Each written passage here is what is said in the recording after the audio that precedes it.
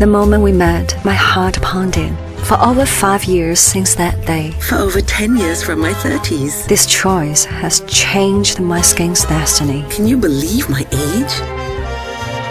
I'll never let it go.